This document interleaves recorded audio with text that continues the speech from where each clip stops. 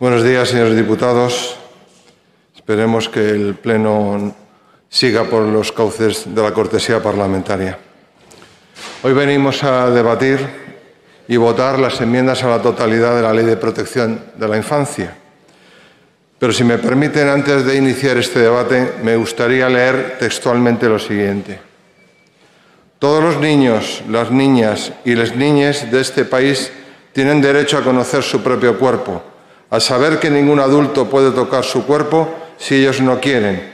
Y eso es una forma de violencia. Tienen derecho a conocer que pueden amar o tener relaciones sexuales con quien les da la gana, basadas, eso sí, en el consentimiento. A este texto se le pueden aplicar dos refranes. Uno, el de rectificar es de sabios, si hay un malentendido, se rectifica y es de sabios. O se ratifican las palabras, que es sostenella y no enmendalla. Pues claramente, en este caso estamos en el segundo, sostenerla y sostenella y no enmendalla. Desde el día de hoy no ha habido ningún cargo público de los grupos parlamentarios Socialista, Podemos y Más Madrid que hayan cuestionado esta aberración moral. Y por lo tanto, el tiempo que voy a dedicar a responder sus enmiendas a la totalidad, pues mire, es el siguiente.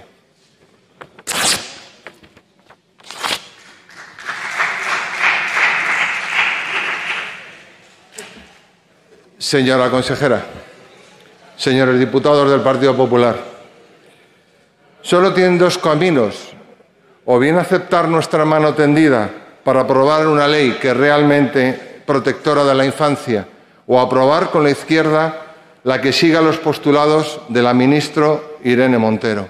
Es así de simple, señora consejera.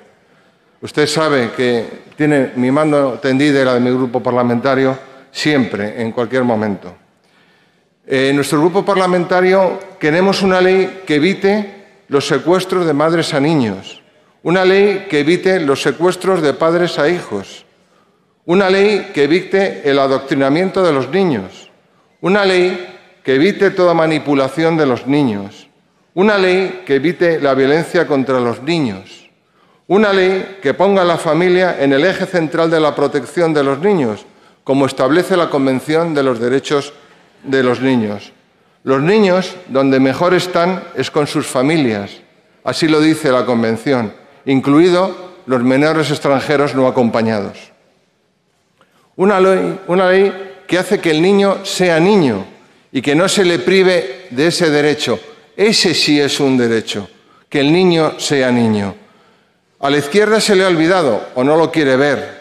Ustedes, señores del Grupo Parlamentario Popular lo ven como nosotros lo vemos?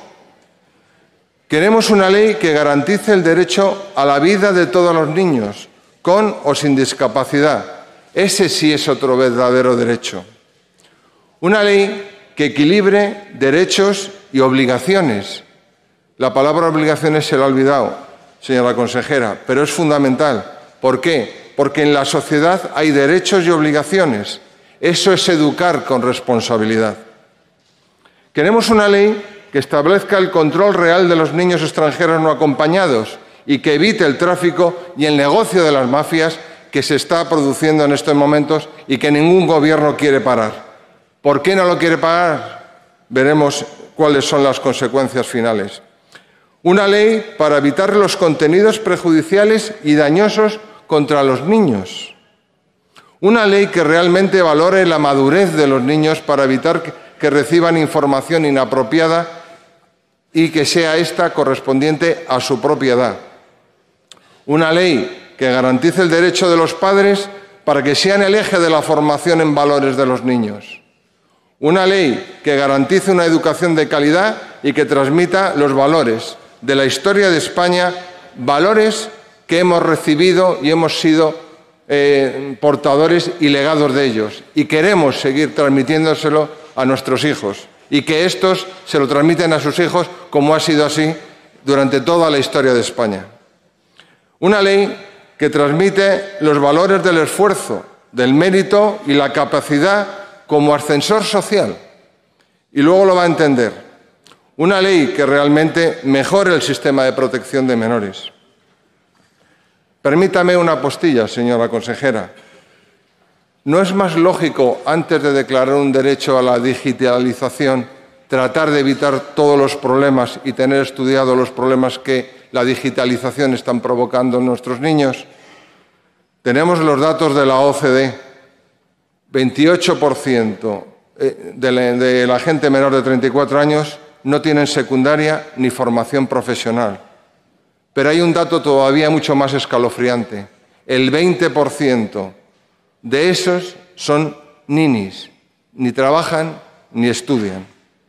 Mire, en definitiva, señora consejera, señores diputados del Partido Popular, una verdadera ley de protección de la infancia sé que no va a gustar a la izquierda, pero nosotros le mantenemos nuestra mano tendida. Pero no hemos venido a contestar a la izquierda, nosotros en Vox.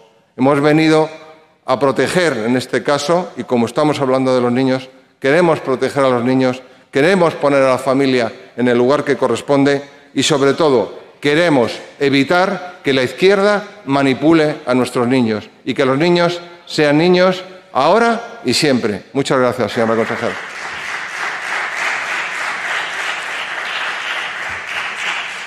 Eh, señora eh, García Villa, eh, usted lo que me acaba de decir no es lo mismo que yo le he dicho a la señora Irene Montero. Yo me he ajustado a lo que marca la RAE. Usted no sabe lo que, lo que, lo que dice y usted no usa bien el lenguaje. Y además déjeme hablar porque yo le he dejado a usted hablar. si usted no tiene educación, ya tiene dos problemas. Que no sabe lo que dice la RAE y que no tiene educación. Eh, con respecto a lo que se ha dicho y brevemente, porque realmente, es decir, habría mucho que debatir y no voy a entrar en lo que defiende Unidas Podemos sobre pedofilia, sobre Z, es decir, que lo dejo para otro momento más oportuno, porque estamos hablando de la ley de infancia y de la protección de la infancia en, la Comunidad de Madrid. Eh, aquí todos los grupos o muchos de los grupos han hablado de las políticas del siglo XXI eh, recordemos, ya llevamos 22 años del siglo XXI, ahora mismo la situación social está, eh, creemos desde el Grupo Parlamentario Vox que no, eh, los jóvenes no tienen la protección ni, los niños que tienen que tener y sobre todo creemos que es por los errores y por la tozudez de políticas que cada vez van en perjuicio de los niños y cada vez van más. Y ustedes no rectifican. Y me extraña, por ejemplo, que ustedes hablan de la institucionalización. Les acabo de dar hoy en este pleno una cifra que si no les preocupa, y eso no es institucionalización, pues que venga Dios y lo vea. 20% de ninis.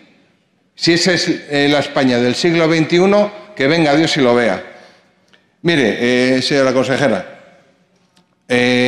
para evitar la institucionalización, solo creo que hay una medida. Se lo voy a decir, es fácil. Familia, familia, más familia. Valores, valores y más valores.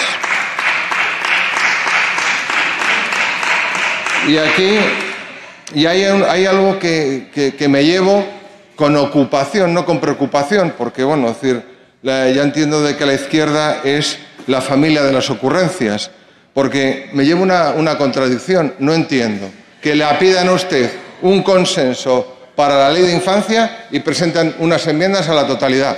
Si alguien me los puede explicar, pues yo encantado de recibirlo, soy una persona educada y escucho a todo el mundo. Y señora consejera, señores del Partido Popular, tienen dos opciones. O negociar con nosotros y llegar a unos acuerdos para proteger realmente a la infancia en la Comunidad de Madrid, o ya, miren ustedes a enfrente y tendrán lo, lo que